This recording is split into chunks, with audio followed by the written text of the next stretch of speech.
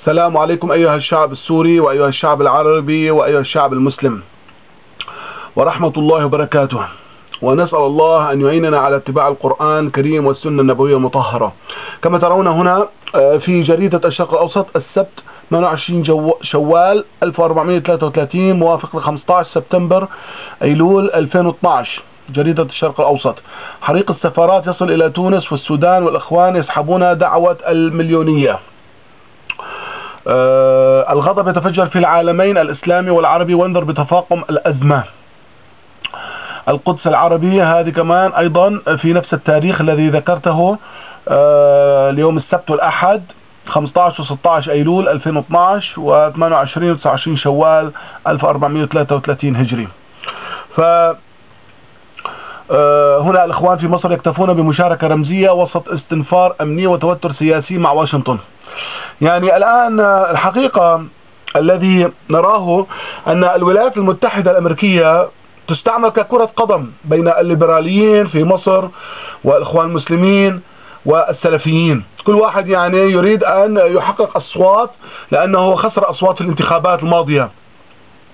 وأن أيضا بالنسبة لتونس يعني يقول المرزوقي الرئيس المرزوقي التونسي أن هناك مخطط جهنميين يريدوا أن يزيدوا الكراهية بين الشعوب لفرض ما لا تستطيع فرضه بصناديق الاقتراع. أن بعض الأحزاب وبعض الجماعات في ليبيا وفي تونس وفي مصر لأنها لم تستطيع أن تفوز بصناديق الاقتراع والانتخابات فيريدوا أن يفرضوا أنفسهم من خلال هذه التظاهرات.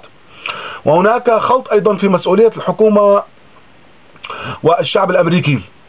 وبعض عناصر الأمريكان. وهناك يقول المرزوقي أيضا يريد الناس أن يؤججوا حرب الحضارات يعني يورطوا المسلمين والولايات المتحدة بحرب طويلة الأمد. وأيضا ذكرت بعض الناس أن أوباما يريد أن يستعمل هذه الأوراق في انتخاباته ضد رومني ورومني يريد أن يستعمل هذه الأوراق تبع الفيلم يعني ضد الإسلام وضد رسول الله صلى الله عليه وسلم في انتخاباتهم. ولكن حقيقة الناس كثير نسوا موضوع مهم أيضا وكبير أن في سوريا الناس الجيش السوري الأسدي يحرق القرآن ويمزقه والجنود السوريون 45 سنة يعانون من الضباط الكبار في الجيش السوري. فالضباط الكبار في الجيش الأسدي السوري يسبون في الصباح يسبون ربه لهذا الجندي ويسبون القرآن ويسبون الدين الإسلام ويسبون أمه كل يوم في الصباح ليخوفوا هذا الجندي السوري. أنتم لا تعرفون أن مدة 45 سنة عائلة الأسد كانت تعلم المخابرات وتعلم الجيش السوري أن يسبوا العناصر من الجندين ويخوفوهم فيسبوا ربهم في الصباح ويسبوا الدين الإسلامي ويسبوا أمهم ويسبوا أقربائهم. ويسب كل شيء له علاقة بالدين الإسلامي. أين كنتم أيها المتظاهرين العرب خلال 45 سنة في هذا الظلم في سوريا؟ والآن أريد أن تروا فيديو مهم جدا. يعني أمام أعينكم على اليوتيوب حرق القرآن وتمزيقه من قبل جنود الأسد والإيرانيين ونداء إلى العلماء الأمة الإسلامية وحكامها من المسجد المدمر في خان السبل. هذا من محمد حسن الدغيم. بعدين الدكتور محمود الدغيم يقول في أحد الإذاعات العربية في الماضي أن الجيش الأسدي وكثير من الأعداء للصحابة كانوا يبولون على قبور الصحابة ويتكلمون على السيدة عائشة رضي الله عنها. وكما تعلمون النظام الأسدي يرمي عشرات ومئات القذائف والصواريخ والقنابل الفراغية ويدمر 40 بناية في حلب كل يوم. ويعني نسيتم الفتن ونسيتم أن رفعت الأسد. قال في عام 1982 قضينا على الله وقضينا على الإسلام. هذا ما قاله رفعت الأسد 1982 بعدما دمر حماة. قال قضينا على شيئين اليوم. قضينا على الإسلام وقضينا على الله. هذا ما قاله رفعت الأسد. اسألوا الشيخ كشك. شوفوا الفيديوهات تبع الشيخ عبد الحميد كشك على يوتيوب موجودة وهو شاهد على المعلومات التي سمعها عن ما قال رفعت الأسد من أشرطة مسجلة ومعلومات جاءت إلى مصر في تلك الفترة. المهم اسمعوا هذا الفيديو وأنقذ سوريا. أن سوريا تحترق ورسول الله صلى الله عليه وسلم يحارب في سوريا ودين الإسلام يحارب في سوريا 45 سنة. فأين مظاهراتكم ضد السفارة السورية وضد السفارة الروسية وضد السفارة الإيرانية الذين في إيران يصممون بلاط يدوسون فيه عليه ومكتوب عليه عمر وأبو بكر وعثمان وعائشة ويحاربون الصحابة وهم وزراء رسول الله صلى الله عليه وسلم والعالم الإسلامي يتفرج. أين أين أنتم؟ يعني تلعبون كرة؟ تلعبون كرة الآن في السياسة وفي قضية الفيلم؟ لماذا لم تأخذوا أصحاب هذا الفيلم؟ واحد إسرائيلي وعشرة أقباط مصريين. لماذا لم تأخذوهم إلى المحكمة في أمريكا أو المحاكم الدولية وتعاقبوهم وتبحثوا من وراء هذه الفتن؟ في الماضي سلمان رشدي ألف كتاب وواحد عمل كاريكاتور في هولاند وفي المستقبل سوف دائما يأتي أناس تلعب بأعصابكم وتلعب بعواطفكم يجب أن تعملوا مؤسسات تضغط على العالم الغربي وتقول له اجعل سب الرسول واجعل سب الدين الإسلامي هو ممنوع في القضاء وتسجن وتعاقب من يفعل هذه الأشياء. إن ال ال ال ال اليهود سووا قوانين سامية لحماية السامية ولحماية اليهودية ولحماية الهولوكوست. ويأخذون الناس للمحاكم وأن تقولوا نريد حماية الإسلام في دولكم ومحاكمكم. فلا أحد يستطيع أن يسب الإسلام ولا أحد يستطيع أن يسب الرسول عليه الصلاة والسلام ولا أحد يسب الله. فهكذا بالعالم الغربي هناك محاكم وهناك محامين تضعوهم وهم يلاحقوا ويتابعوا الأمور. ولا نسمع على هذا الشريط الذي يبكي. اسمعوا ماذا يحدث في مساجد سوريا وكيف يمزق القرآن وكيف يهان الإسلام ويهان الرسول ويهان الله سبحانه وتعالى أيها العرب العرب أيها المسلمون هذا ما فعله النظام في مساجدنا في مصاحفنا مآذننا المصاحف تمزق ويداس عليها في سوريا في المساجد. أين أنتم يا سودانيين ويا تونسيين ويا مصريين ويا سلفيين ويا إخوان مسلمين ويا ليبراليين؟ أين أنتم من الثورة السورية فوق الألف مسجد مدمر في سوريا بالطائرات السورية. والمصاحف؟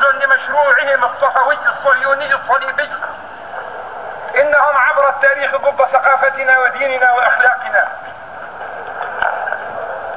يا علماء المسلمين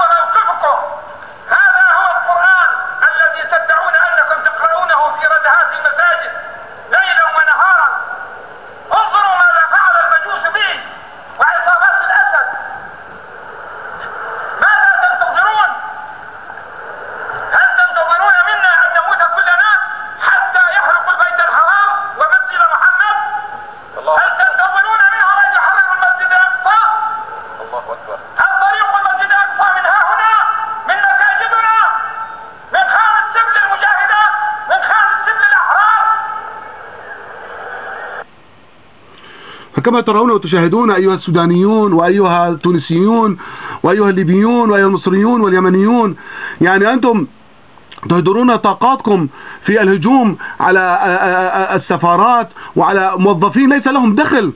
هل يسمح لكم الإسلام بأن تهجموا على موظفين في سفارات ليس لهم دخل بالفيلم؟ هذا الفيلم المسيء للرسول صلى الله عليه وسلم. هناك عشرة أقباط مصريين وواحد إسرائيلي في أمريكا صوروه وجابوا فلوس ماشي؟ وهم عملوا هذه الجريمة. فلماذا تهجمون على البريء؟ هذا الموظف في السفارة الليبية. لماذا يهجم عليه؟ وهذا الموظف الآن في السفارة الأمريكية في في ليبيا وفي آه، تونس وما ذنبه؟ هو يعطي فيز. هذا شغلته يعطي فيز لأمريكا وشغلته يسوي معاملات. وهذا فيه تعهد. هناك معاهدات ووعود بحمايته. الأمة الإسلامية تعهدت وبلاد المسلمين تعهدت بأن تحمي الزائر لبلادنا. لا تريد هذا الإنسان قل له اخرج من بلدي ولكن لا تهجم على السفارة وتحرق السفارة. يعني هذا ليس بتصرف لائق إسلامي. تريد أن تعاقب من أهان رسول الله صلى الله عليه وسلم؟ اذهب وادعو. وهذه القصة صار لها من واحد June من واحد حزيران. وضع هذا الفيلم واحد حزيران في سينمات لوس أنجلوس في كاليفورنيا. و وضعوا بادي جارد على السينما. والأمريكان اسمأزوا منه. وبعد أسبوع فشل الفيلم ولا أحد أراد أن يحضره. والأمريكان اشمأزوا منه. وطلب الشعب الأمريكي أن يلغى. ولكن القنوات العربية منذ أسبوعين وضعته واججت الموضوع. ما نعرف خطة سورية ولا خطة إيرانية ولا خطة من بعض الناس الذين يريدون أن أن يأججوا الأمر ويشغلوا الناس عن موضوع سوريا فأثاروا الموضوع مرة ثانية وانشغلت الناس في هذا الموضوع. كل شهر كل سنة حيجي واحد يتكلم على رسول الله عليه الصلاة والسلام. هل سوف تحرق الناس سفارات؟ يجب أن تلاحقوا الرجل المذنب بعينه. الرجل. المذنب بعينه. رسول الله صلى الله عليه وسلم ثلاثة في مكة. طعنوا في عرضه واتهموه وشتموه عليه الصلاة والسلام. عندما دخل مكة قال أنتم الطلقاء وأراد أن يحاكم فقط هؤلاء الثلاثة فقط هؤلاء الثلاثة المجرمين الذي تكلموا عليه عليه الصلاة والسلام واتهموه. لم يحرق مكة ولم يريد أن يدمر مكة فقال لأهل مكة أنتم الطلقاء. هناك أحكام شرعية هناك علماء اسألوا العلماء. لا تكونوا غوغائيين أرجوكم ركزوا على مساعدة الضعفاء في سوريا. ركزوا على مضاعفة النساء والأطفال. في سوريا مليونين إنسان لاجئ و و ويعذب وفي السجون 200 ألف موجودين في إيران وفي سوريا يعذبون ويغتصبون ويكرهون على الكفر. مئات وآلاف الفيديوهات على اليوتيوب تورجينا أنه كيف بشار يدعي الألوهية. عناصره يقول للشعب قولوا لا إله إلا بشار. وصلنا 45 سنة. يدمروا في الشعب السوري ويعلموهم الكفر ويجبروهم على الكفر. فأرجو أن نكون واعيين وساعدوا الثورة السورية. واتقوا الله وادخلوا إلى سوريا وأنقذوها. هذه سوريا مهمة. بلاد الشام مهمة أنقذوها. الإيرانيين يذبحوا يذبحوا الناس هناك ويفتنوهم ويسبوا الصحابة ليلا نهارا ويسبوا وزراء رسول الله صلى الله عليه وسلم وزوجات رسول الله عليه الصلاة والسلام. وفهمكم كافي. والسلام عليكم ورحمة الله وبركاته.